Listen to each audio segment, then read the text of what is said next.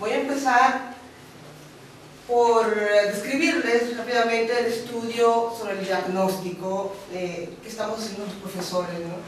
Eh, es un diseño experimental y evidentemente, por ser muy tan grande, no me quedó otra que recurrir a una encuesta, a un cuestionario electrónico. Fue también un proceso largo, que me llevó alrededor de cinco meses, porque tenía que contactar con cada una de las universidades, que son 70, donde se ofrece la licenciatura en comunicación, pues fue todo un reto, pero eh, hay resultados. Las variables predictoras del estudio los tiene aquí enfrente, es la edad de los profesores, el sexo, los años de experiencia docente, etc.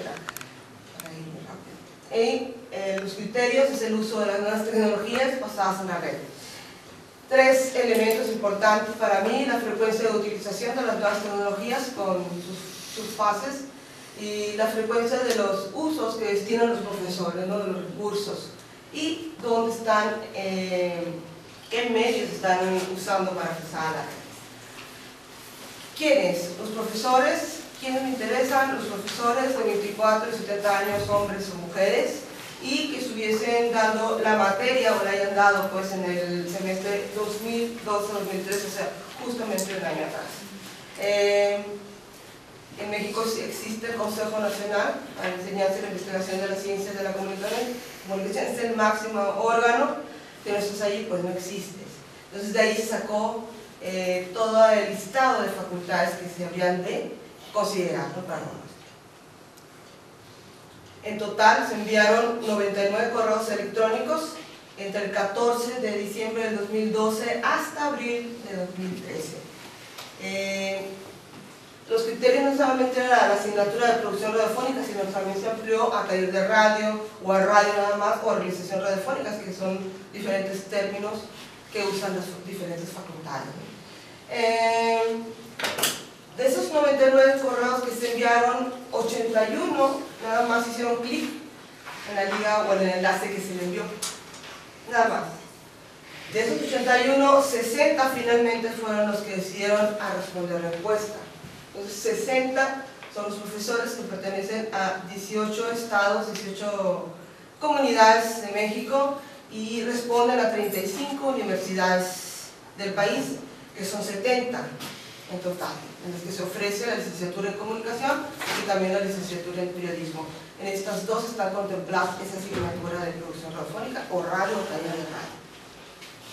Y estas 70 eh, universidades o instituciones de educación superior están distribuidas en cuatro áreas geográficas, que es la noroeste, de donde yo vengo, centro occidente, Valle de México y Golfo suroeste. Bien. Ese estudio está en procesamiento. Tenemos una primera fase donde ya fue capturado toda la información de los docentes, pero falta ahora lo emocionante, que es la interpretación, los cruces y todo eso. Está suspendido ahí porque estamos caminando con los dos estudios, entonces por eso no puedo ofrecerles más datos al respecto. El, estudio que le da el nombre a la tesis, el de la moderación a través del chat, pues es un, estamos con una metodología con dos enfoques, con cualitativo y cuantitativo. Definitivamente es una experiencia importantísima. Y las condiciones experimentales, el diseño, perdón, el diseño experimental, pues pretest y post-test con un grupo control para conocer básicamente en esta parte del estudio cuantitativo perteneciente a este estudio, pues las impresiones, cómo cambia la actitud de los estudiantes que se sometieron al experimento. Entonces, esta es la condición experimental. Tuvimos tres grupos experimentales eh, al cual se le aplicó moderación alta y dos chats, uno de comunicación oral y uno de comunicación escrita chat estamos hablando de comunicación sincrónica. Porque resulta que, devolviéndome el tiempo, yo estaba buscando siempre foros electrónicos, foros, foros, foros, foros, foros, y yo era una profesora que usaba bastante el chat para comunicarme con mis alumnos. De alguna otra manera eso influyó en mi decisión de ir por comunicación sincrónica. ¿Qué pasa? ¿Qué pasa en ese estado? Después, eh, bueno,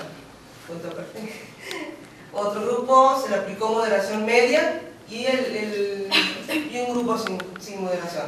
Todos, todos ya están eh, capturados en la primera fase y falta la interpretación.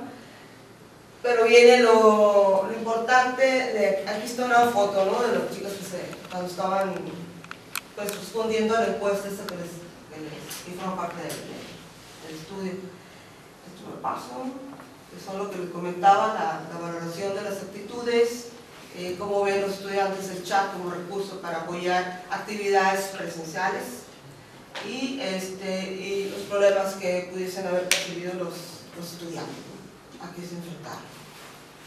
Bien, el objetivo del estudio cualitativo, el experimento consiste en aplicar diferentes niveles de moderación a los estudiantes, eh, tanto en comunicación oral como en comunicación escrita. ¿Para qué? Para ver cómo está impactando la construcción de conocimiento, cómo está generando qué cambios también en situación oral o en comunicación escrita. Hay unas preguntas de las cuales pues, el partido eh, que tiene aquí, ¿cuál es esa percepción? Se contesta con el primer estudio que, les he señalado. Pero ya después, eh, el diseño, tanto las hipótesis que surgen a partir de las preguntas, pues me va llevando, yo lo veo así, a profundizar en algo, en un mar inmenso ¿no? de, de, interrogantes a la vez. Entonces, eh, ¿cómo trabajé el aspecto de cómo analizar el discurso? Porque me mortificaba mucho encontrar un buen modelo. Entonces, eh, esto no viene de un año, como ven, porque soy joven, una persona madura, y he estado durante algunos años y por un motivo personal muy fuerte, que fue la pérdida de mi madre, suspendí todo, y entonces lo retomé apenas el año pasado.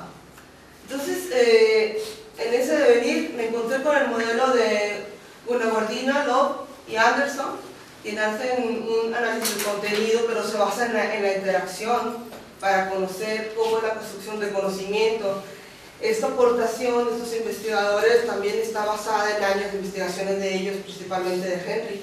Y ah, nos proporcionan un modelo que tiene cinco fases para ir analizando esas, esa, eh, la interacción y cómo los estudiantes se van a través del discurso pues apoyando o socializando o construyendo. Y cada una de las fases tiene subfases. Actualmente eh, el diseño de todas las categorías me tiene también allí. De repente descubro cosas y me tengo que parar, me regreso a seguir explorando. Esa es, ese es el estado actual. Eh, la definición de variables, eh, ¿qué pasa con la moderación? Entonces, estoy partiendo de lo que propone eh, Gilly Salmo en base a las eh, experiencias e investigaciones que ella, que ella hizo y a partir del 2004 pues también han estado replicando estudios diferentes investigadores en todas partes del mundo para el caso de, del tema de la modelación. Es una imagen tomada también, una imagen original de cómo cuando estuvieron en, el experimento los alumnos. Las variables independientes, es el nivel de moderación, los tipos de mensaje, eh, las variables dependientes. Mm. Aquí está, las hipótesis, lo que estoy planteando de entrada con las hipótesis nulas y las alternativas, porque no sé lo que va a pasar, la verdad, en este momento, pero sí que sí que estoy segura que con moderación a diferentes niveles o sin, moderación hay un, hay un proceso importantísimo ahí de, participación y de construcción. Faltan comprobar. Bueno, eh, es un cuestionario cerrado, los instrumentos de recuperación de información, el texto que viene pues del discurso eh, que manejaron los alumnos en el chat. Ahorita les explico cómo es que se organizó esto del chat para capturar todas las conversaciones. La población de muestra, pues, en el año pasado, eh, cinco docentes impartieron en, en, la Universidad de Sonora la asignatura de producción radiofónica. En cada grupo un promedio de 27 alumnos. El experimento se llevó a cabo con alumnos que venían de siete grupos y mm, a partir de en agosto empiezan allá las clases, entonces el diseño eh, integró desde agosto hasta diciembre. Participaron 30 alumnos, 21 eh, mujeres y 9 hombres. Eh, trabajamos con el equipo de 5 y estos eh, alumnos fueron los que integraron los 6 chats que se llevan a cabo. 3 de comunicación oral y 3 de comunicación Entonces, para este estudio estamos con el CPS, CPS 19 y con el en vivo 10 y luego me pasó al 8 el 10, bueno, bueno. Eh, también la validación de las categorías y, el, y pues el apoyo fantástico de los expertos ¿no? para que ayuden allí con, con lo que se está construyendo. Bien, eso es en términos generales lo que, lo que estamos haciendo de los dos estudios.